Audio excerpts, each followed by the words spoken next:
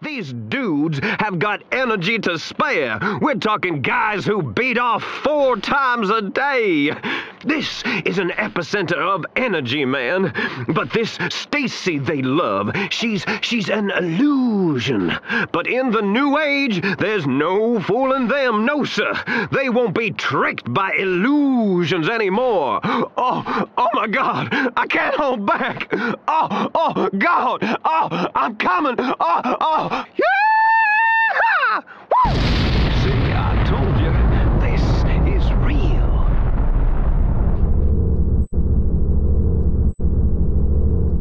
While it sounds cliche, there really isn't anything quite like Killer 7 out there. This was the first Suda51 title to receive a worldwide release. It introduced many players to one of those rare figures in the industry where you know it's one of their creations. Its different approach to movement and navigation, its colorful cast of characters, and a plot full of open-endedness has memorized and confounded fans for years. Even being released during a time frame when larger studios weren't afraid to take risks, it's still a miracle that Killer 7 saw release just for how different it is. It's unapologetic in how polarizing it can be.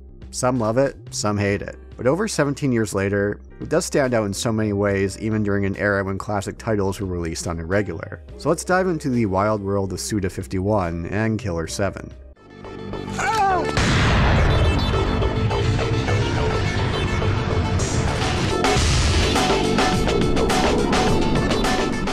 Killer 7 was part of the Capcom 5. Ah, the Capcom 5. First, some background on it. Back in the PS2, Xbox, GameCube console war era, Nintendo was pushing for more third party support, one of those being Capcom. Nintendo and Capcom had a strong relationship back in the NES and SNES era of Nintendo. However, staying with cartridges for the N64 led many third party developers, including Capcom, to shift development to PlayStation. In late 2002, Capcom held a press conference announcing what would be known as the Capcom 5, five upcoming titles for the GameCube, those being Resident Evil 4, Beautiful Joe, P.N.03, Dead Phoenix, and Killer 7. They were all overseen by Shinji Mikami, who is also directing P.N.03. Now, there were some communication issues between Japan and the West with this announcement. The initial announcement seemed to indicate that these would all be GameCube exclusives. However, that was not the case. To clarify, these titles would be first developed for the GameCube and may receive ports later. All of them except for Resident Evil 4, which is meant to be a GameCube exclusive. Of course, we all know how that turned out.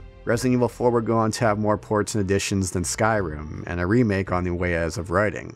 So, what about the other four titles? P.N.03 would be the first release in 2003 and was a sales flop and had mixed reviews. It has gained a following over time, and there were aspects of it that would show up in Vanquish, a future title directed by Shinji Mikami. P.N.03 remained exclusive for the GameCube. Dead Phoenix would never rise from the ashes and was never released. There's not a ton of information on this title. The original announcement said players can freely fly like a bird into a world of epic proportions. It was to be a third person flight game in the vein of Kid Icarus and Panzer Dragoon. It didn't show up the following E3 after the announcement, and Capcom was very hush about it.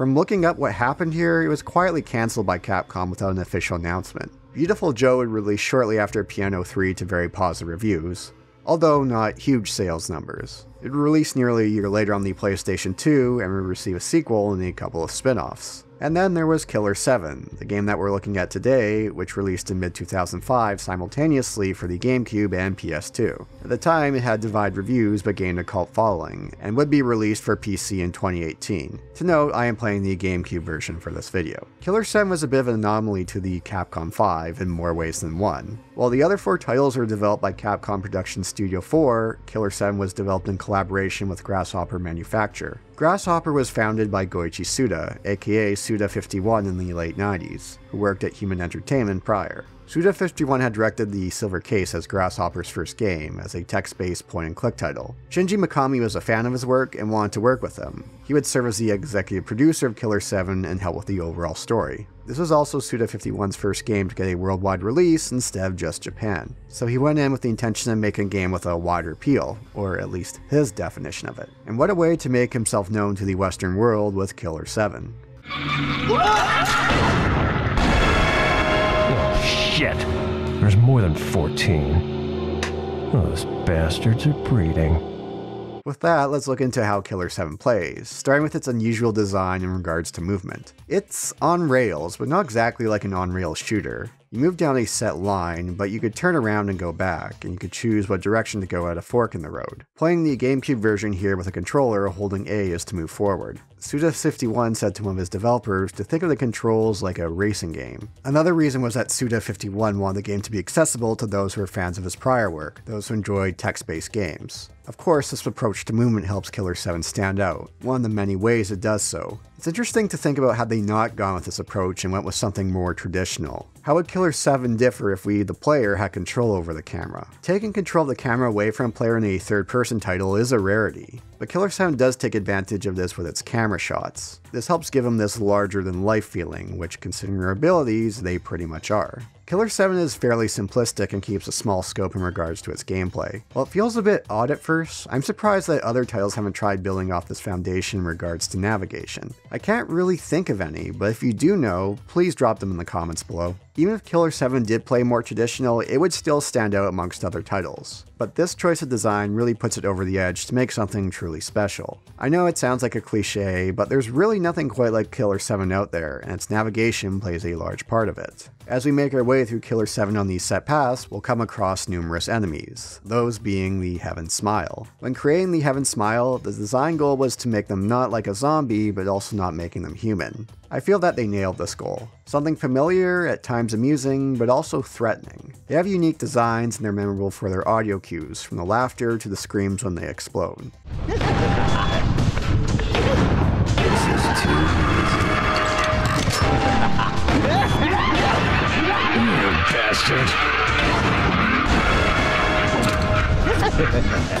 Some are fairly straightforward to kill, while others require more precise shooting or a specific member of the Killer 7 to take out. Scanning them will reveal their weak point for a fast kill in blood, blood being points to spend on powered up shots, healing, and upgrading your stats. Further upgrades will unlock abilities like locking onto their weak point or counterattacks. So who are the Killer 7? Who is this motley crew? Who are the Smiths? A vast majority of the time will be spent playing as six of them. Dan Smith, who serves as a versatile character combat wise. He also gets some time to shine in regards to character development with the plot. Thank you, sir. How you making out? I'm getting by. Hey, here's something extra. Kaede Smith is the barefoot lady in the bloody dress. She has the ability to make use of a scope for range shots. We can use her blood ability to unlock certain roadblocks.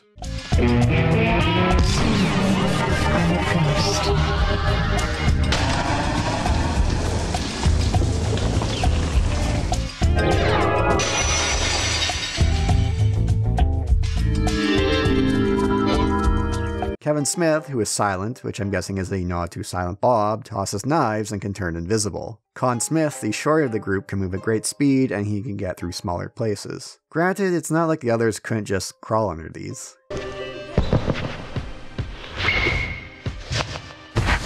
Coyote Smith, our local master of unlocking, can also jump to high places. Mask Smith, a lucha libre, can use a grenade launcher, which acts differently than other weapons. It takes down enemies easier, but it's tough to get those critical hits to get more blood. Garcian Smith is the seventh, who serves more as a handler or a medium, and our protagonist, which becomes more apparent as the game progresses. He does little damage, but he can revive Smiths if they die in battle.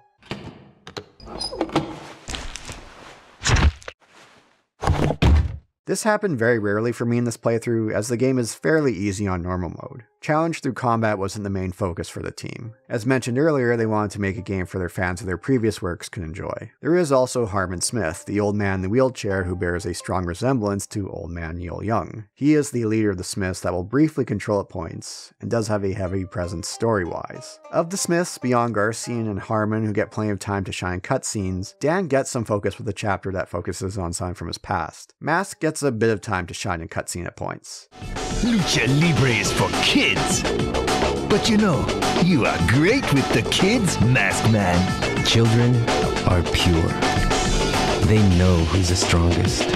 But the rest, there's very little or none at all on that front. Due to the scope, they couldn't do other character centric chapters like Dan gets. I'm not saying that they should have, but it would have been nice to have points where we got to see more of the other Smiths and cutscenes to flesh them out more. It does help keep a shroud of mystery amongst them, but even just little bits of dialogue would have been nice outside of gameplay. I found myself mostly playing as Dan, Kaede, and Mask. Dan is very versatile in combat, Kaede has the scope, and Mask has the grenade launcher can help in a pinch that deals with stronger Heaven Smiles. In the end, it makes more sense to focus on just a few characters to upgrade in regards with how much blood you get. In regards to switching characters, it's a quick and stylish process. Considering how often you may be doing so throughout your time in Killer 7, it doesn't get frustrating or annoying.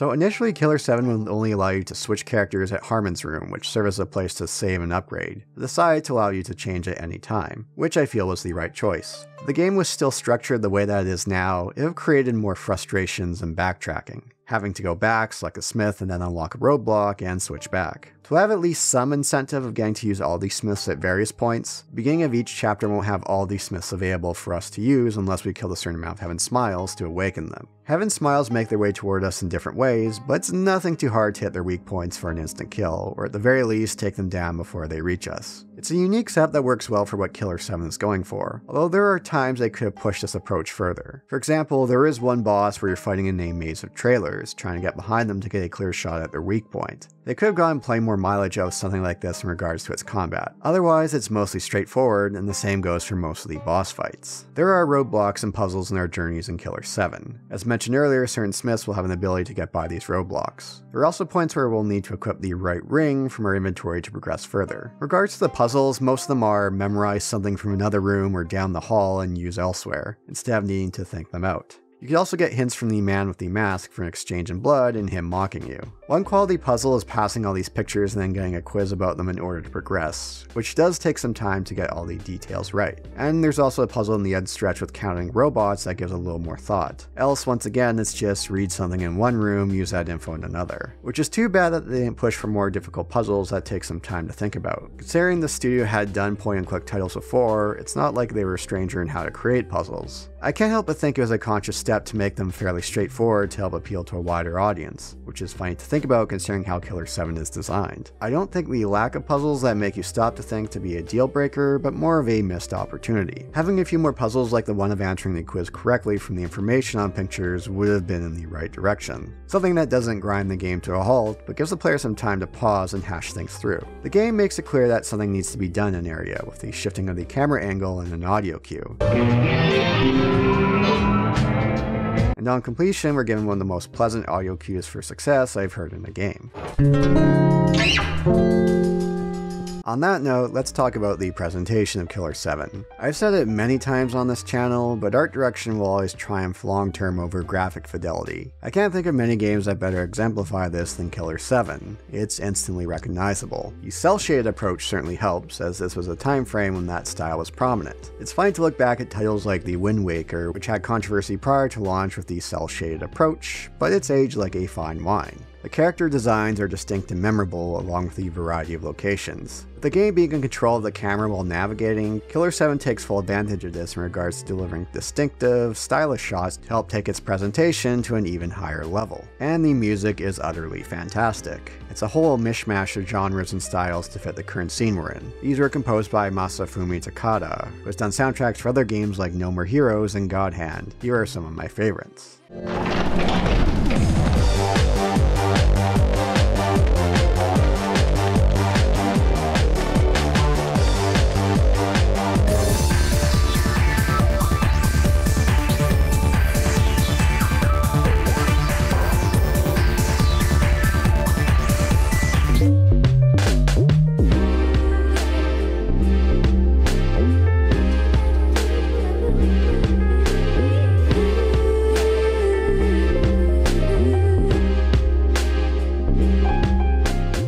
So now let's go through some of the highlights of Killer 7, so there will be spoilers ahead. To note about the plot of Killer 7, well, it's a trip. There's plenty that's easy to miss the meaning of or get confused with what's going on. There's plenty that's open-ended and up to interpretation. You know those YouTube videos where it takes a property and plays clips out of context like Twin Peaks? Yeah, this game is perfect for that.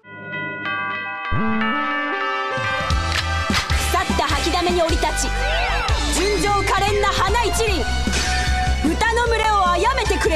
ヘッドマスターニートガールあやめブラ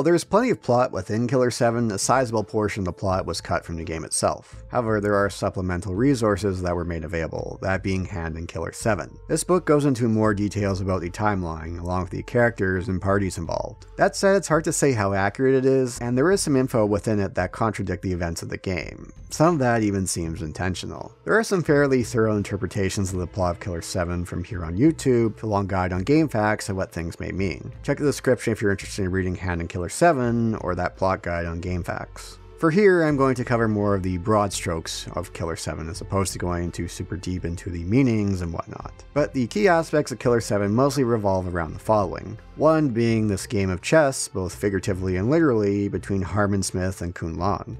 Uh, yes. Like our chess games, you always seem to win. Do you know why? You tell me. Because you're a bad player.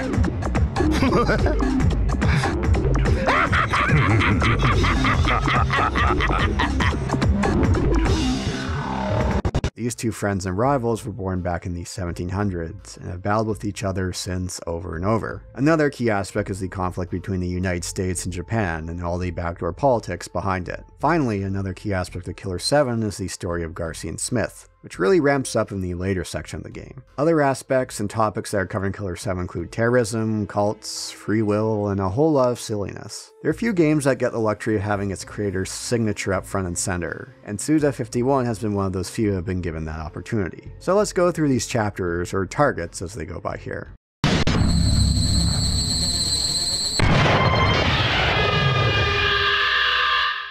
Target 0 serves as a tutorial to how Killer 7 plays. We'll get introduced to a number of familiar faces that we'll encounter throughout our journey, such as Iwazaru, our friendly servant in a red gimp mask. Depending on what target we're on, his dialogue will vary, but has a certain structure and rhythm to how it begins and how it ends.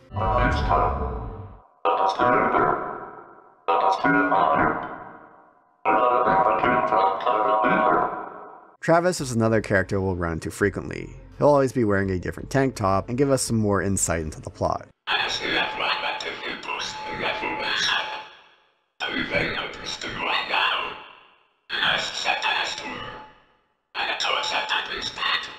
Susie, the severed head who gives us rings and uses emoticons to speak with us. It's all very endearing and gives a light-hearted feel to a character who has a pretty dark backstory.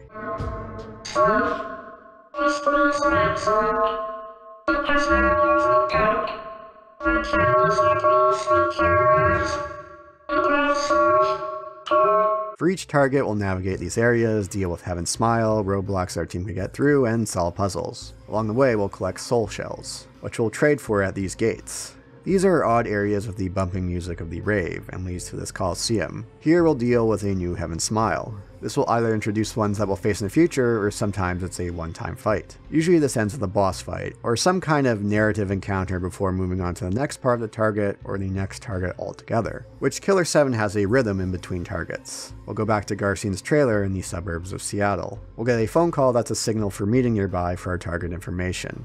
Please leave your message after the tone. Hello, Mr. Smith. The election is drawing near. Have you decided on your vote? If you haven't, please let the Republic Party make the most of your precious vote. Thank you and have a nice day.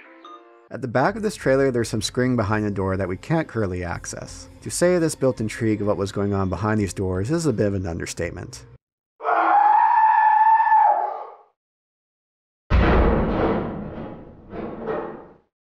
In Harmon's room will be Harmon and Samantha. When Harmon is awake, she's his maid and treats him well. The master is awake.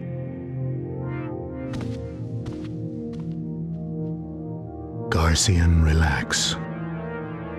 As you wish, Master. And when he's not awake, she takes advantage of him in more ways than one. Here! Come on! It's really good. Open your mouth. Ah. Eat, damn it! Oh, I didn't notice you there.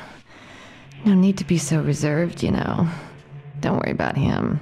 The scruff loves to play rough. oh,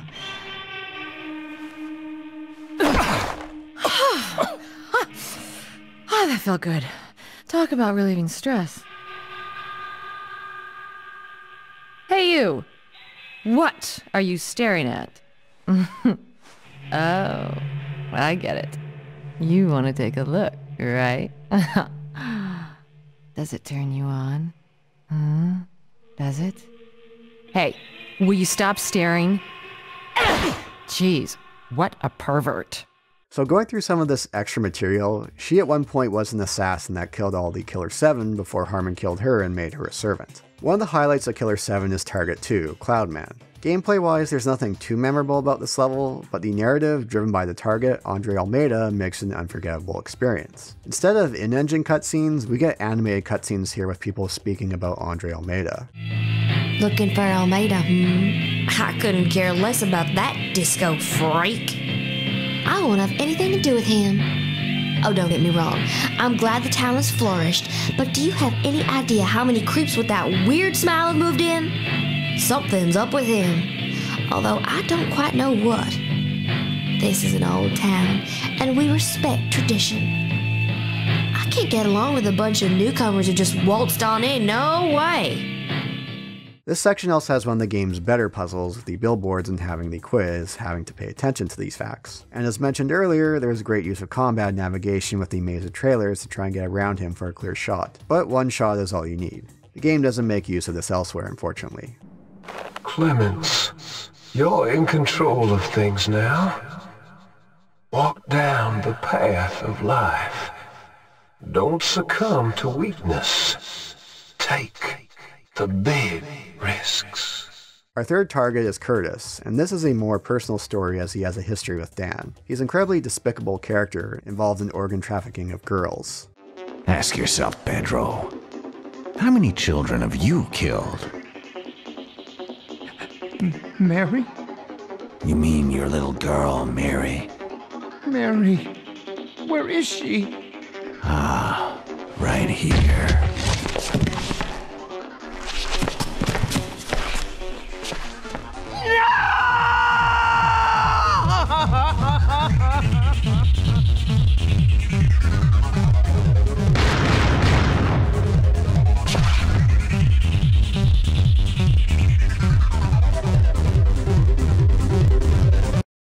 First part on the fairgrounds has a missed opportunity with the maze. This section easily could have had something like the Andre fight where you can navigate around to get the drop on an enemy. While most areas are fairly linear, the section Curtis's house does loop back onto itself, and something I wish the game made a bit more use of. The fight against Curtis is one of the game's highlights. It's a one-on-one duel using only Dan. As I said earlier, I do wish we had more of these kind of moments with some of the other Smiths, something that's more personal.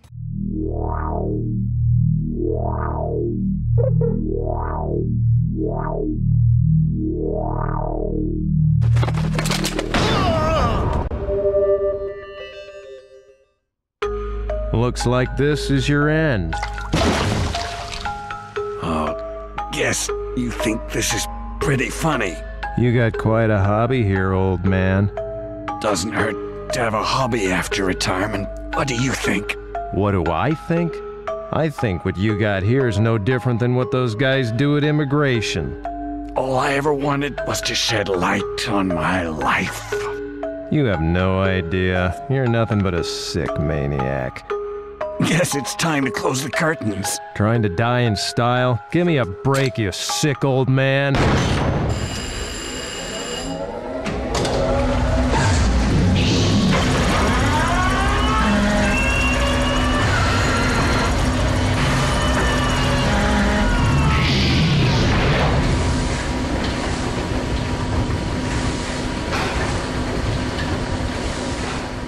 Target 4, Alter Ego, takes us to the Dominican Republic to deal with the Handsome Man and its artist.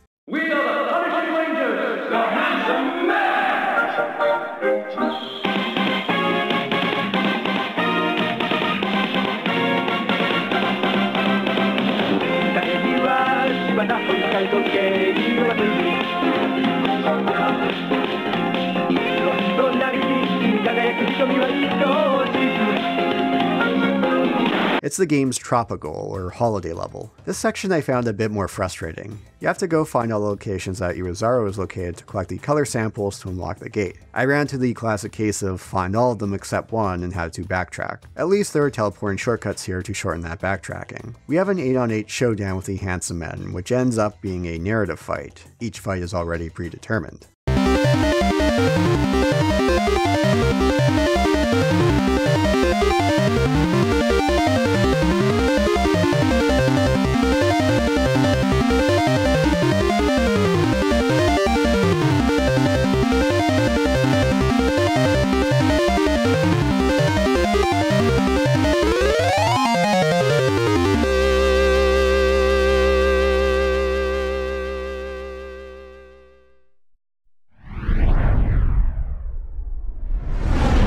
Target 5, Smile, is where Killer 7 really takes an interesting turn narrative wise and becomes a more personal story involving Garcian. Up until now, we haven't been playing as Garcian that much. Despite being a presence in most cutscenes, the focus hasn't been on him. This has now shifted. Samantha is now dead in the trailer, and we can enter one of the two locked doors in the trailer to see what Harmon and Kun Lan are up to.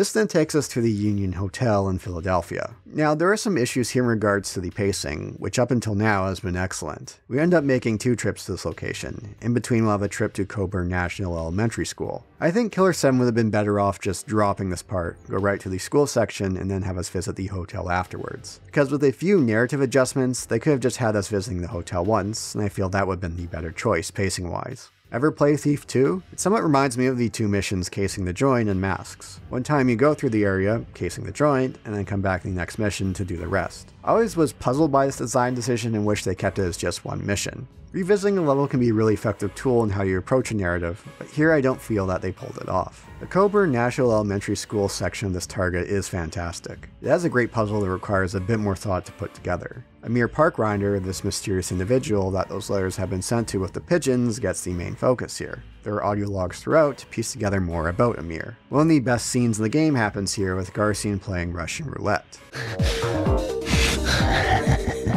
Sorry, but a deal's a deal.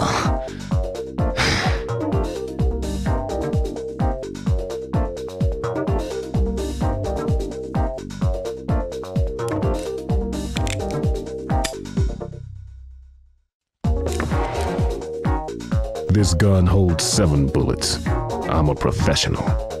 You can't fool me, old man. You and I, we're both sick. The only time we feel alive is when we put our lives on the line. It's a sad reality. But we people are never satisfied. We'll always seek a higher rush. The history of the United States rests within the walls of this institution. It's an old tradition that has continued since the first presidential election. I want you to see it through to the end. And by the way, women are all the same.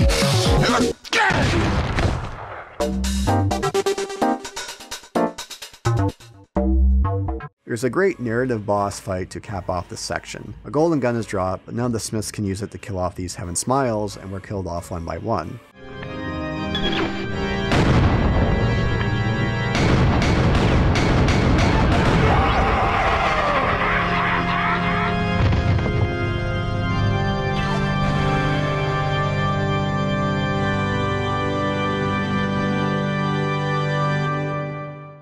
Garcian is the last one left, and he can make use of the golden gun. With that, we head back to the hotel where the truth is revealed, that Garcian himself is a mere Parkreiner, and he killed off the Killer 7 many years ago.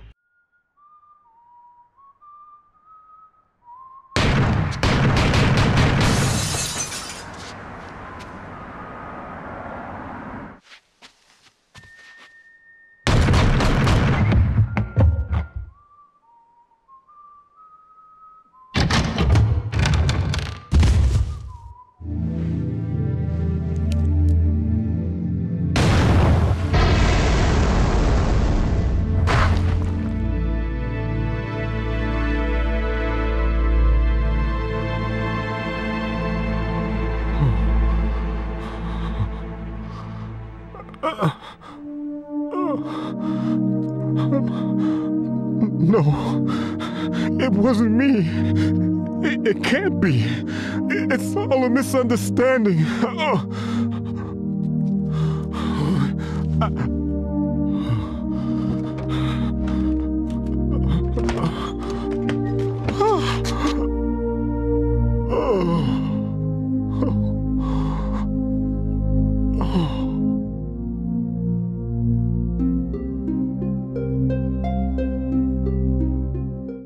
Epilogue, which takes place three years later, we are now playing as Emir. We're given the choice that lead to the United States or Japan defeating the other, and there's one final smile to deal with, who's located in the trailer in the other door that's now unlocked.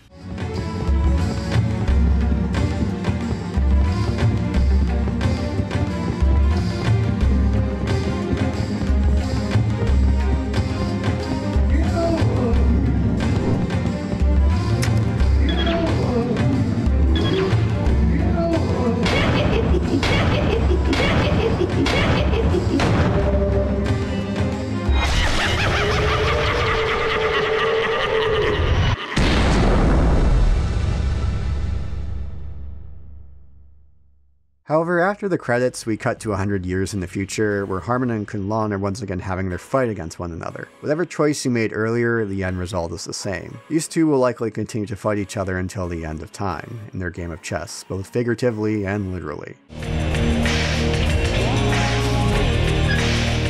You're awake from your nightmare. Harman, the world won't change. All it does is turn. Now, let's dance.